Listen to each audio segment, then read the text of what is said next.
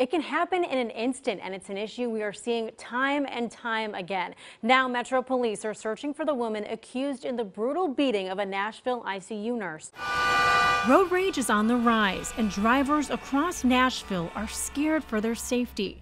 Metro Police are yet again investigating one of these cases this time involving two women. Metro police say a female driver sideswiped another car turning onto Briley Parkway from Gallatin Pike on June 7th around 10 p.m. That's when the victim, who asked not to be identified because this is an open case, says they pulled over and the other driver attacked. I rolled my window down and she ran out of her car and just began punching me in the face over and over again. She started screaming as soon as she ran out of her car and got to my car. She started screaming, I've got a baby on board.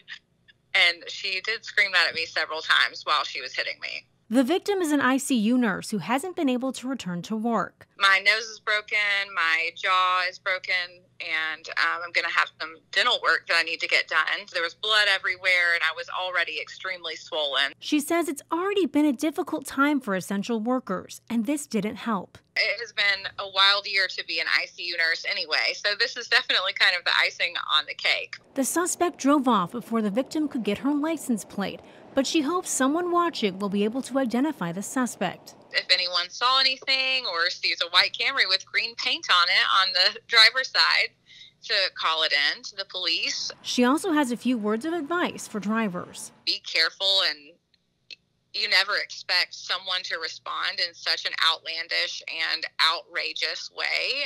And you never expect to be the victim of someone just behaving so far outside of the realm of what we see as normal behavior. Metro Police urge anyone in a situation like this to call them immediately.